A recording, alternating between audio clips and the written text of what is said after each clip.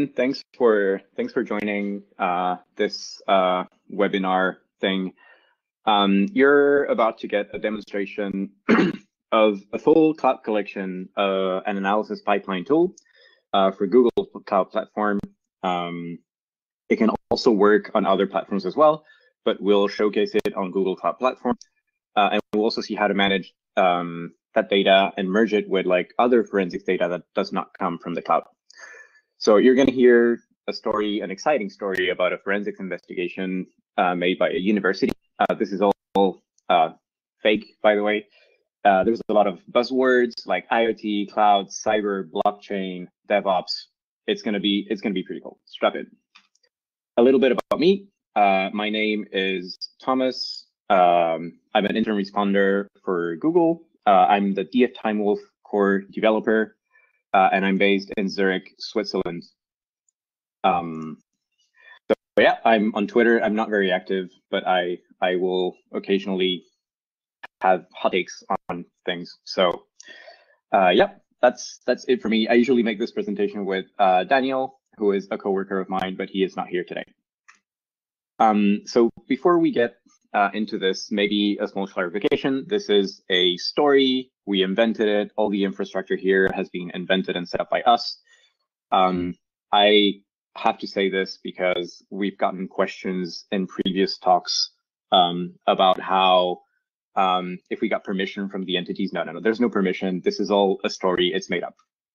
Um, we have some characters as any good story. So it all comes uh, from the Greendale Polytechnic Institute, which is a for-profit education institute in Zurich.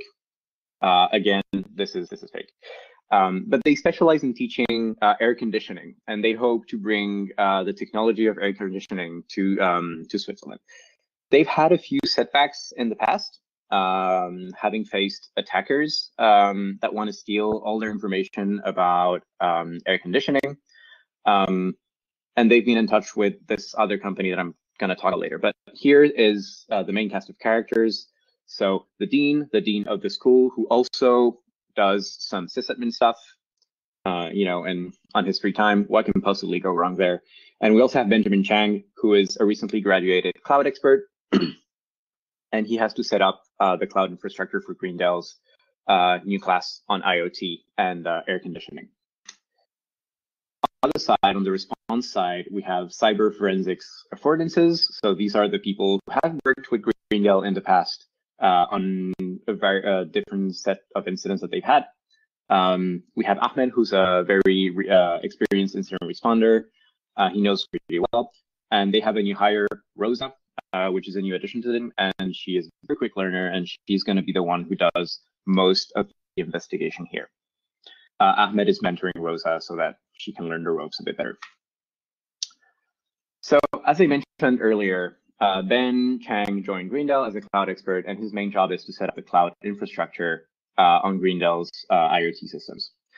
So when he's doing some routine checks, he sees uh, a few cloud alerts uh, like this, a billing alert. So it's basically your money flying away. All this, the, the, the, graph that you see here is mostly CPU usage for different types of uh, instances that are running in uh, GCE, which is the, the service that runs the virtual machines in the cloud. And as you can see, all this, all these new instances are spiking uh, to a percent uh, of CPU usage, which is really not that great um, as an indication of something. It's a good indication that something's pretty off.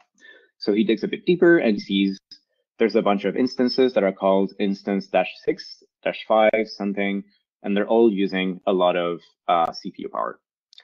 So he thinks he, he's not he's not the one who did this. So he calls Ahmed at CFA to try and figure out um, what is going on. So Greendale has never been great about keeping CFA in the loop about their new infrastructure. Um, and this is the first time Ahmed has ever heard that they were moving to the cloud. But fortunately for, for Ahmed and CFA, they have already a bunch of clients in the cloud. So they kind of know how to articulate a response around this. So Ahmed know that he wants um, a TimeSketch instance ready to ingest Plaso files. Um, so I think this is a good time to mention that if you have any questions, uh, just throw them in the chat it has it is there's a small window open next to the presentation slide. So I'll try to keep an eye on them and try to answer any questions that you have uh, as we go. Uh, so TimeSketch is um, an analysis tool that allows you to visualize different types of timelines uh, that you get from systems. So these are forensic timelines indicating like changes in the file system or other events that are logged um, in a good way. And this is what most of my demos today will be about. Um, there's also a Turbinia instance that he wants, that Ahmed wants. Turbinia is um, an orchestration framework that works in the cloud. So basically, it takes an evidence, uh, runs a bunch of workers on that evidence. One of the workers is the tool that is going to produce the timeline that TimeSketch is going to use. Uh, that tool is called Plaso or log2timeline. Uh, if you've done forensics, you've probably heard of it before. Um, so we want a Turbinia instance working with a bunch of workers already ready to run jobs, other types of jobs like strings, extractions, and so on. We're going to focus on the Plaso job this time around. And we also want a TimeWolf, a DF TimeWolf client set up and ready to go.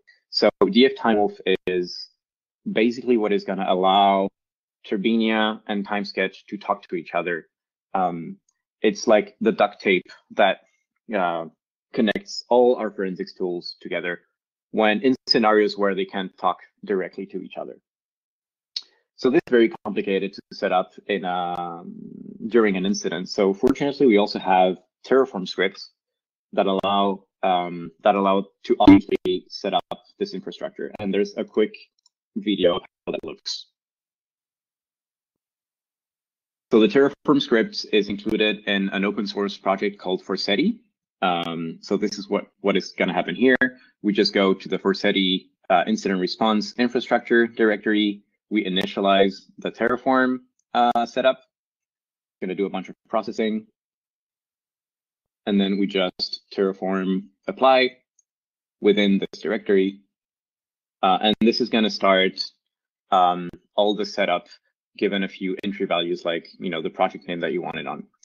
Um, it's going to print a bunch of information like, do you want this to happen? And you say yes, and then it's going to create all the instances in the service. And you can see the Turbinia module is executing and the instances are automatically being created. Um, and everything is pre-set up so that it works correctly uh, and is all integrated. We can see the TimeSketch server as well being set up and so on. These are the instances that we have. We have the Elasticsearch nodes that are used by TimeSketch. So this is all abstracted. You don't have to, you, you really don't have to dabble into anything. It's all just two commands and you have everything going on. All right, so once Ahmed has set this up, um, he also needs information to input and to intake into TimeSketch. So the first that he wants to do is get some Stackdriver logs because this is probably where he'll get the most information out of uh, what happened in cloud. Stackdriver is uh, GCP's uh, logging mechanism, logging product. And DF TimeWolf has a very um, handy uh, recipe for this. So recipes in TimeWolf are a set of modules that are chained to each other. Um, so basically, in this case, you can kind of deduce from the recipe name that is the second parameter in this command line. So it's going to take Stackdriver GCE logs and send them to TimeSketch. Uh, and then it takes a few parameters like what project you want the logs from, uh, a start date and an end date for the project, and any justification uh, for that you know uh, acquisition in case you have a system that records it. Um, so yeah, this is this is exactly what's going on, and I have a time sketch instance ready to go if my browser doesn't crash. Um, switching tabs is apparently hard. All right, there we go. I, I think everyone can see the sketch. I have the I have a very tiny preview of the of the things. If text is too small or too large, please let me know and I can adjust um, things as we go. So this is what TimeSketch looks like. Refresh this. Um, so this is basically, uh, these are spoilers, but this Stackdriver logs are in pink, and you can see there's a bunch of entries here. We're going to see a bit more specifically what we're looking for. Uh, so in this case, what we want is um, trying to see which, um, uh, hold on. What we want is try to see which, what happened with uh, insertions in the VMs of our cloud. So this is a pre-can query, but I'm going to explain how it works. So basically what you have here is a query that is going to select a field on an event, which is the method name here. Uh, and then you can say, tell it like, I want, give me all the events where the method name is v1 compute instances insert. Of course, there's no pre-hand way to do this because it really depends on uh, the kind of events that you're ingesting. An event, as far as TimeSketch is concerned, is a thing that has happened on the system or the logs that you're working on. So if you see here, for example, you can see that there's um, uh, hang on. Maybe more events will be useful. There's a bunch of events here that are indented. And as we can see, um, the insertion happens here. This is the method name, and this is what we're selecting events on. Uh, we have other information such as the project name, and the information that you see here is really not dependent on TimeSketch. TimeSketch is just going to parse whatever it ingests. So in this case, this information is obtained through um, the Stackdriver log that we're interested in. And as we can see, um, the email or the account that was responsible for these insertions, and these insertions happen, there's a lot of them. Uh, these are all insertions that are happening in, in the system. And we can see it comes from this super admin account um, in um, in the in the GCE console. So you know, Ahmed sees this. Uh, well, this is a service account, so it's probably used by robots. It's kind of like an API key. Um, and so Ahmed has a kind of hunch, and he thinks this is probably a bot that is doing this. So he does a Google search, and he finds that, oh, well, yes, we can see that the dean has pushed a private key to his GitHub account. And so probably a robot just stumbled upon it and uh, abused the key to spin up the instances. Nothing to worry about here. Uh, it's really not that serious. Just you know, remove the instances and um, and you know you can close the incident. But Ahmed is still going to give uh, Rosa some time to explore uh, a little bit more things. And so what Rosa does because this is Rosa taking over. She's going to remove this insert thing, and she wants to see what else happened um, on uh, the the GCP project um, around the time where the instances were created. And so you see the instances were all created on October 7th, but on October 4th, a very interesting thing happens. I've pre-highlighted these events because it's the one I'm interested in. But we can see that there's a set metadata call and then a reset call on the Jenkins instance. And Rosa knows that uh, set metadata can be used to pick startup scripts uh, in your instance. So you can set up instances uh, and set a metadata startup script, and this script will be executed uh, once the computer boots. Um, so one could argue that this is a good way to describe fileless malware in a way. Um, and so, yeah, setting the data and resetting the, the VM right after really sounds like someone is trying to establish persistence. Uh, but it's still probably fine. Let's see if we can dig a little deeper on, on what's going on here. So if we see the user agent that did this, um, we see that this is Cloud SDK with the gcloud command line, and it's on Linux Microsoft, which is unusual because Rosa knows that Ben Chang, who is at the who is the the owner account the account owner that did this, she knows that it's a little um a little he's not he's not a, a Linux nerd, so he's more he, he uses the UI more. And if we go up again and try to figure out another um another um if we look at all the events that Chang did, um maybe we can find the user agent that uh, he usually uses. Uh, and we see it's usually Mozilla Firewall, so Firefox. So this is this is a bit a bit weird. Um, she really uh, it's Chrome basically. Sorry, not Mozilla. Uh, so she kind of wants to get her hands on the startup script uh, just to see what's going on, right?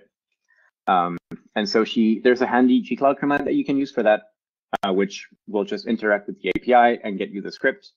And this is what the script looks like, which is a little um, very suspicious uh, in a way. base64 encoding in a startup script. Why would any legit thing do that? This is weird. So she codes the script and she sees this. And you know, this is really bad because it's a very suspicious thing being dropped in SSHD, which is really not the normal uh, path where SSHD is supposed to live. And also there's a command that gets uh, what, what we assume is a binary from Greendale.xyz. So it's a type of squatting on the real Greendale domain. So very suspicious, very bad. Uh, Rosa definitely thinks that we need more evidence for this. Um, so one of the things that we need, that Ahmed things that we need, is the Jenkins instance, um, which lives in the cloud. So how do you do a DD in the cloud, right? And this is where DF TimeWolf really comes in and really shines. Um, DF TimeWolf has a very handy command that does this it's really unimpressive when shown in the command line because it's just like a bunch of lines that are output, but this is way clearer. So in green, you see the Greendale's IoT project, and in blue, it's CFA's incident response project. So these are two separate Google projects. TimeWolf is going to ask the Greendale IoT cloud project to please copy the disk for Jenkins. The disk is going to automatically be transferred into the incident response project, and this is due to a library that TimeWolf uses called libcloud forensics that does all the dance and magic, which somehow sometimes can be quite involved. Then there's another API call to Turbinia saying like, hey, please forensicate disk Jenkins copy. Turbinia does its magic. It creates a plot file out of the out of the disk, and it sends it back to TimeWolf, which in turn can then send it to uh, TimeSketch in the same server, in the same project. So this is basically what happens. And also, what they need is they would like a copy of uh, the, the, the B-Chang's computer. So we use something called a GiftStick, which is basically a USB stick that you can see right here that will just boot a computer in forensics mode. And once the computer is booted, you just have to click on an icon called forensicate and, and it will do all the magic and it will upload the disk binary image to the cloud for processing by Turbinia or by any other syntax you have. So you can see the icon here. It's also, again, not a super impressive demo. You see a bunch of stuff happening. Um, but the idea is this is just another way to upload a forensics, a physical machine's disk image to the cloud instead of just uploading a virtual machine's disk image to the cloud. So what happened so far? What do we know? Uh, some instances were created and started mining cryptocurrency, and this is what alerted Ben. And while digging, Rosa found some other unrelated to a strange activity. It's unrelated from the mining, but it's still quite strange, and she decided to dig a bit deeper. Uh, so Ali is asking a question, how does it handle encrypted disks? Um, you would have to decrypt them manually uh, in that case, um, or you can provide the key to the disk, and if it's like preset um, or known encryption scheme, it can decrypt it for you. Uh, but otherwise, you would have to unlock the disk first. I assume you're talking about gifts and not what happens in the um, in the cloud. There's also encryption in the cloud, which uh, is handled in different ways. Um, so we decided to, uh, Rosa decided to dig deeper. Uh, and what, what the evidence that we have so far is API logs from cloud. We have the Jenkins VM disk timeline that was used, uh, that was obtained via TimeWolf. Uh, and we have Ben's workstation timeline that was gifted um, to CFA. So what happens if we work uh, backwards? Let's use TimeSketch instead of the screenshots. Um, TimeSketch has a very handy thing where you can use saved views. So it's very handy for demos, of course, but it's also pretty handy want to share the investigation with someone else because you can bookmark uh, basically views over your data. So in this case, I'm like, well, okay, let me bookmark this. So it will bookmark my prefetch piece, and it will also mark uh, the date and time that I want to focus on. So what basically happens here is Rose is focusing on events that happened before the time here, before these set metadata and reset events that we showed um, were happened. So what she sees, and this is pretty another cool feature of TimeSketch is that you can see that the two timelines you have in green, you have the timeline that happened that um, Ben's laptop produced, and then you have the timeline that the Stackdriver logs produce. And these are completely merged and intertwined. So in the same view, you can see what the events that happened uh, over time. And this is pretty useful in this case because you can see that, you know, a few minutes before we see the set metadata actions, we also see that some weird things are going on in Ben's uh, computer. Uh, we see command exit being run. We see nc64.exe being run, which is really weird. Um, we also see this. And if we look a little closer at, so this, is this information is obtained from prefetch files on the disk. And prefetch files are a very good source of uh, execution hints on Windows. Um, so if you look at commands, it, it also has like a list of map files um, that, that were used here. And we can see that there's this very weird um, file here in app data nvtelemetry.bat. What is that? And also in app data and the Unistore directory, we have nc64.exe. This all looks pretty suspicious, uh, if you ask me. So if we focus on the Unistore directory, um, where is that? Let's just we see uh we see the same command in, in NC64, but let's remove this uh, time range, loading some events. Um, let's have a little more space here. Uh, we already have 400 events. We have a bunch of DAT files that are kind of polluting our view, so we can remove them from our view. Uh, and then we can see a lot of other events that are happening. Uh, and this one is of particular interest. So this is always around the same date, right? This is of particular interest because we can see a run key being set. So this is a pretty common persistence mechanism for um, malware. And we can also see that it happens in uh, ntuser.dat, which is like the user's personal uh, registry hive. So this does not require advanced privileges. It's pretty stealthy when you're not looking for it. It doesn't tip off any any um, any extra security alerts to the user. So yeah, uh, at this point, Rosa is um, is really not. It's starting to freak out, right? So if we go back to um, what we're interested in now is seeing other things that happened around um, around these things. So if we if we want to see, for example, what happened um, around the NC64 file system events. So this is precisely, we're selecting things that contain NC64.exe and also Unistore because we are looking for this uh, executable. And this is the data type that we're looking for, which is basically the, um, the file system listing. And so the NTFS parser that we have, which is going to parse the Windows file system, can list the timestamps, the creation timestamps of, of this file. So if we see here, it was created around this time. Uh, so a bit earlier, a few days earlier than than the actual malicious activity.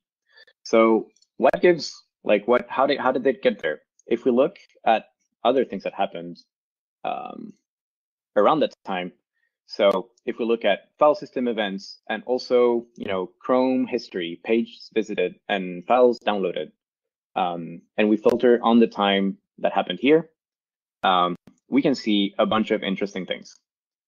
Uh, we can see this LNK file being dropped. Uh, we can see uh, more, more of the LNK. Uh, we can see webmail activity. Um, so at this point, we get a pretty clear picture of what's going on. Um, the LNK file, the pdf.lnk file looks really suspicious. If I saw this in a file system, I would pretty much freak out. Um, the good thing is that Plaso, we don't need to recover this file from the disk. We could because we have the disk, uh, but it would be a very manual process. But Plaso has a parser for LNK files, and it will extract some information from it. Uh, so I just need to find the thing here. Uh, yep. So just looking for the file name gives us more information about its history. So you can see the whole um, webmail. Apparently, we have a download from the file name here. There, there's the download. So we can see the download came from the webmail. Uh, and this is, you know, very old events. These are events that are in the timeline, but I don't really have a time information. So they just are put at epoch zero.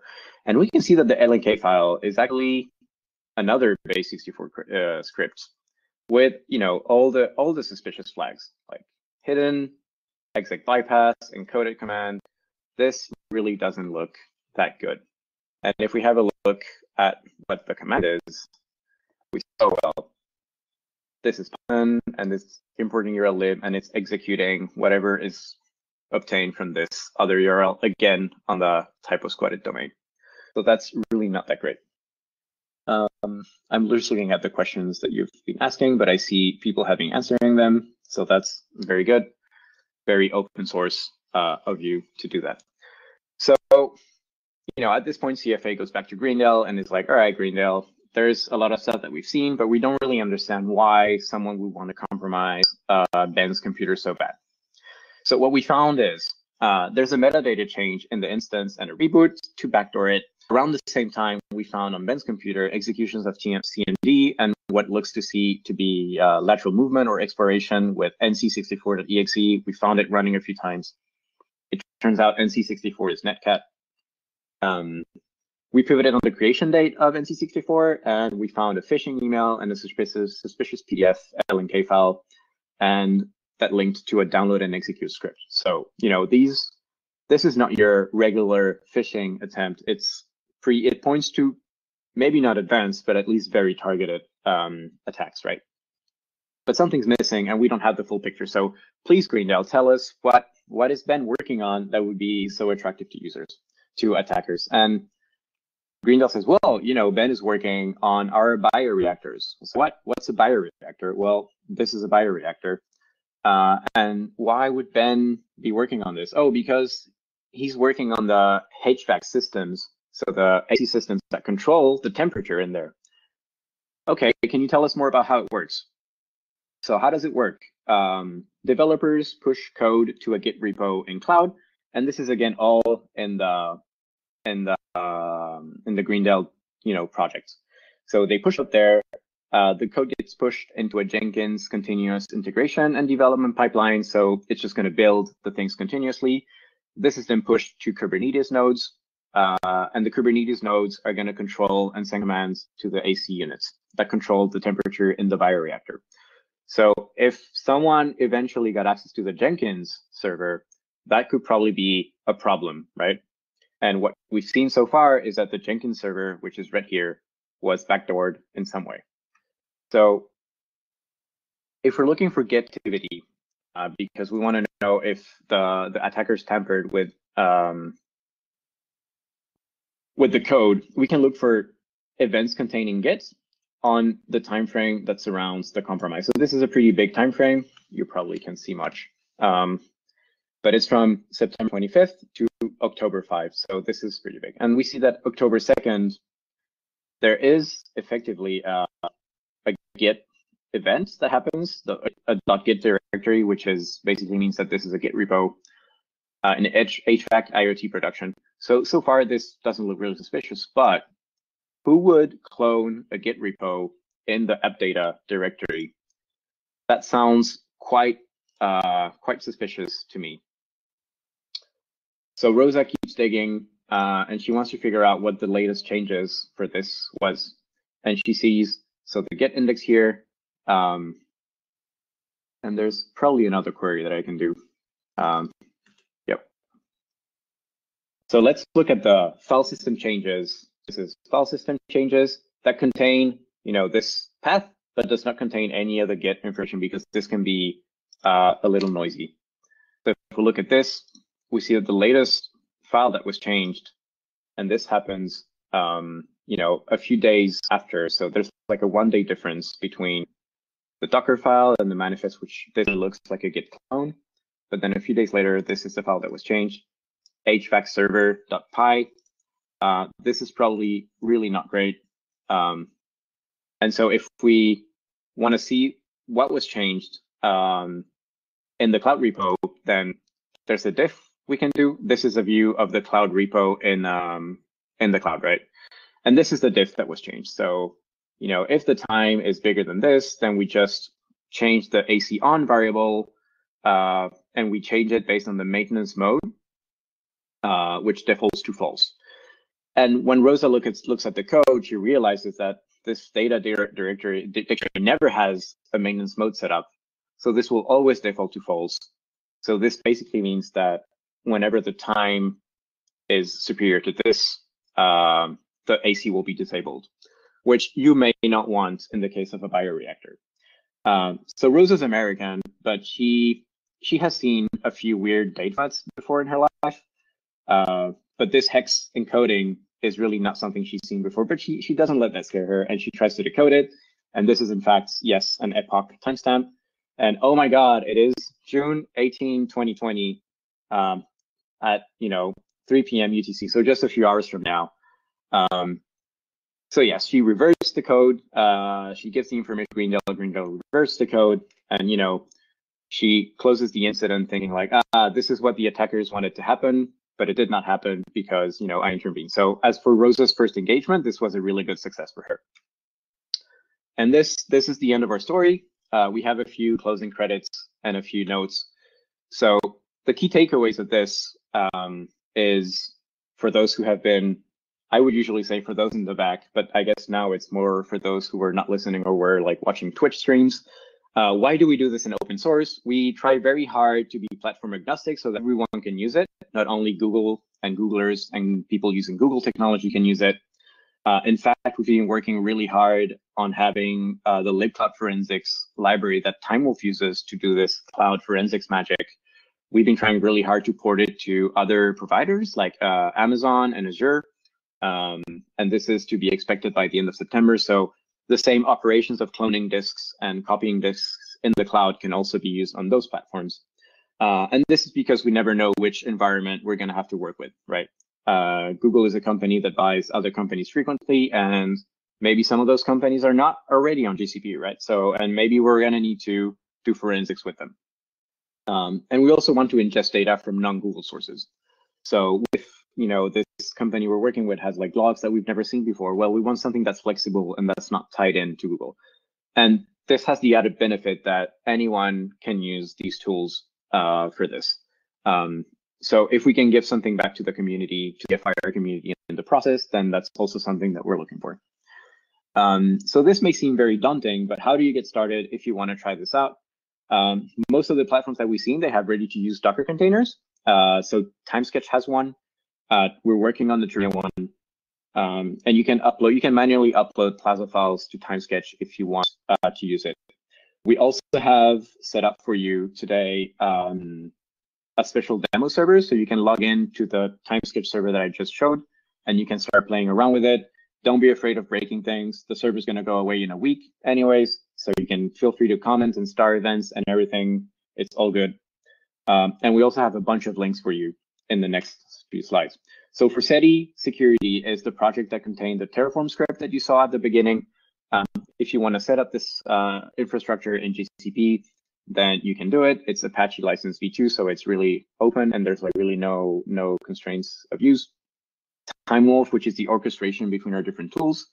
Uh, also, in on a Git repo, we have Turbinia and Plaso, are also on their own Git repos. Turbinia is the orchestration in the cloud, and Plaso is something that you can also use on your local computer to process timelines. Uh, and it also has a Docker container, so you don't need to worry about installing dependencies. Uh, Stick, which I see someone has already shared in the chat, but it's also here. Um, we have a demo featuring with our in-house hand model, which is a coworker of mine. Uh, we have TimeSketch uh, that has this demo.timesketch.org um, server that I'm. I think this one is down right now, but I will share with you the link to the actual TimeSketch server that we spun up for this uh, presentation. Uh, there's also a, a, uh, Google group that you can email. Uh, so, and here is like the whole slides with all the information.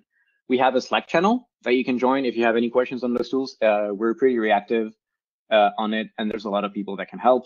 and we also have a blog uh, that is fairly new. We've been uh, feeding it pretty often as of late.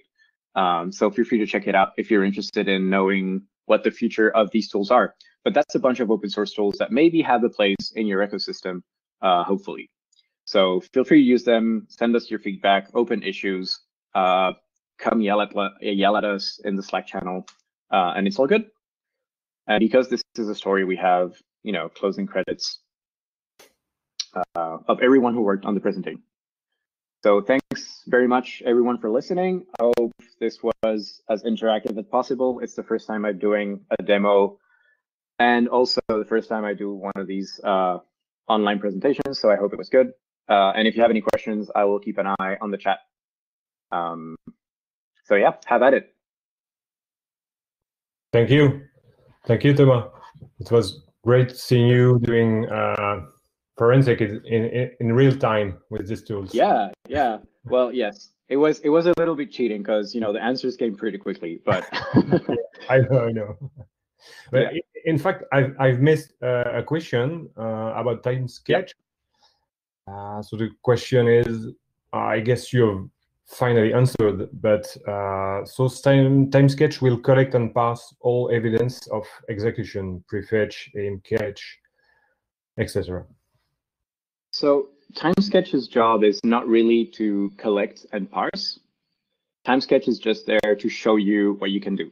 Um, and what I showed here was just some very basic querying, but it also has uh, a few analyzers. Maybe maybe they're been activated, and I can show you the results of one of those. Um, let's see if we have the first query I had, which was the one on the instances.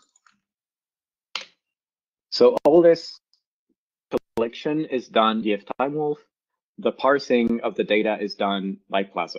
Plaso is really our mega parser that parses any kind of uh, file that you can imagine, or the ones at least that contain useful forensics information. Um, and typically a file system, as far as Plaso is concerned, is a thing that it can parse. So it's going to go through the file system, it's going to go through each file. And if the file contains useful metadata, like a prefetch contains a lot of good metadata on, you know, the what was executed and when. So it's also to parse that out.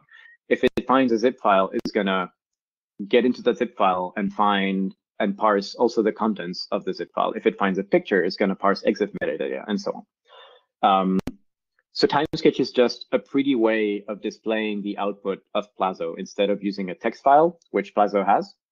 Uh, it's just going to use uh, a nicer interface where you can do maybe faster queries. Um, but what's pretty good about about TimeSketch is that you can do some more advanced analytics on your timeline. So if you see here, there's like a GCE instance created tag. And this comes from one of the analyzers that we have on our timeline um, that is going to look for probably, you know, this uh, insert uh, statement, and it's going to tag events uh, with this.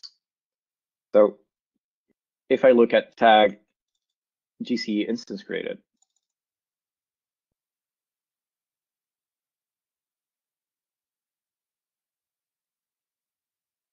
we see all the events that have this tag, right?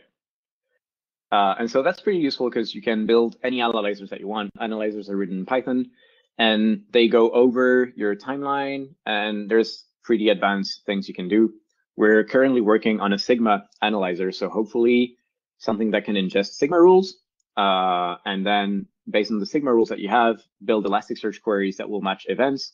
And if these events are matched and found, then you can tag these events with whatever Sigma rule you're in. So from my experience, I have a question here. From my experience, how well does it scale with large projects with a lot of logs? Well, you know, the one one of the mantras when you work at Google is basically everything that you do has to scale. And when we talk about Google scale, it's it's a pretty big scale. So this works pretty well with very big amounts of logs. I think the biggest investigation that we've done was with a few dozens of uh, disk timelines on there. Um, of course, it won't work as well if you have uh, a low performance server. Uh, in this case, our servers are pretty performant, and we also have Elasticsearch set up with shards and everything. So uh, it requires a bit of tweaking if you want to scale it, uh, but otherwise it scales pretty well with very big amounts of data. Uh, if you look at this single um, single timeline, you see this one has 2 million events. Uh, we've had sketches that have even more events than that. Um, I don't want to give you I don't want to give you fake numbers, but if you had, you know, this this is a file system timeline for one disk. So if you have like 10 disks, you have 20 20 million events very easily.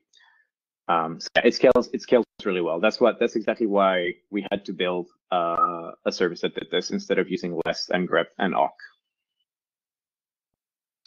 Uh, Davey, did I answer your question about parsing and TimeSketch? Yeah, yeah, yeah, yeah. Perfect. Cool. Okay, so if we don't have any any other question, um, thank you, thank you again, Tama. Thank you very much. You're welcome. I hope you enjoyed it. Yeah,